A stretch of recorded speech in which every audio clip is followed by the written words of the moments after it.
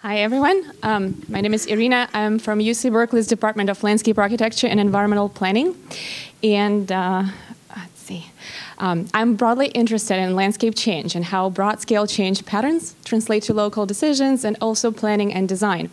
I have been using Engine for a little less than a year, and my current projects fall into two broad groups one related to urban development and one related to wetland change. I'm going to talk about both a little bit today.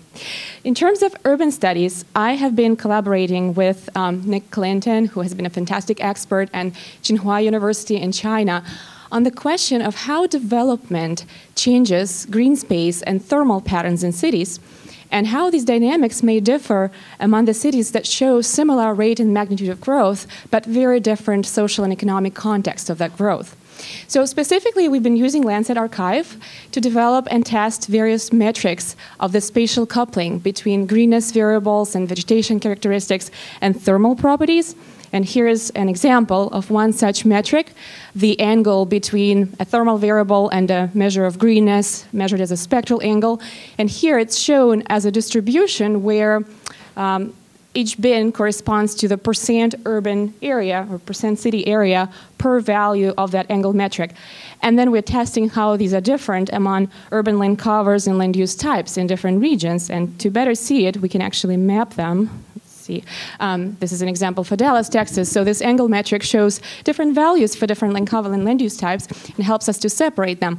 What's more important, it also shows how some of the urban cover types that we think of as a one class, like low density residential, are actually really heterogeneous physically. And that is important if we use land cover maps as inputs to physical models. Um, we are also doing this over time, and I don't have any results to show yet. We're wrapping up some um, recent updates to the project, but we're basically comparing these results among different cities of the world, like Beijing in China, uh, growing cities in the US, Kiev, the capital of Ukraine, that have very different context of the growth and very different unique features on the ground that may affect these patterns. And we're looking for generalities and ways to characterize this urban development signatures in terms of physical variables and what they mean in terms of how development transforms the environment in which we live. Um, very exciting project, and Engine has been really useful. Um, the other, um, so also doing a lot of this in San Francisco Bay and heterogeneous regions climatically and topographically and um, socioeconomically.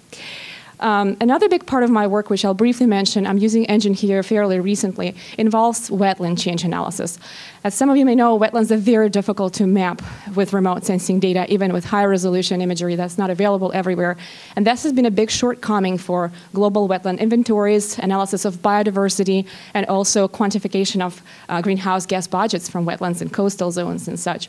So what I'm doing is I'm trying to use phenology and seasonal information from temporal archives of data such as Landsat and MODIS to understand how wetlands can be better detected and whether we can assess their um, changes in response to land use change, uh, disturbance, and particularly drought.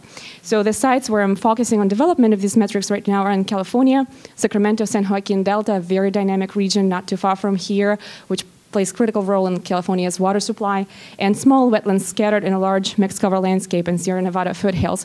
For both of these projects, um, in the urban studies and in the wetlands, the idea is to develop these metrics, test them, and take them to continental and global scales, which will be the next step. So lastly, I just want to mention briefly the main research needs for me in terms of functionality of the engine are more advanced tools for time series analysis and maybe object-based um, capacity in the future where we can work with image regions rather than pixels as mapping units. Thank you.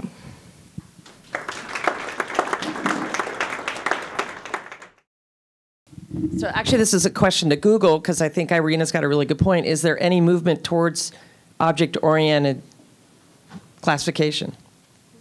Yes, and it's hard. So uh, you are thinking of going that way, but you realize it's hard. Yes. Yeah, it's totally something that we want. So, yeah, the question is how we're using the NAIP images. So the NAIP images are really good for validation and ground truthing because we can see the features and even identify with human eye. We can't use them temporally very well because they're not consistently collected from phenology standpoint. So yeah. Yeah, mostly ground truthing, but also using the uh, Google Earth for that as well.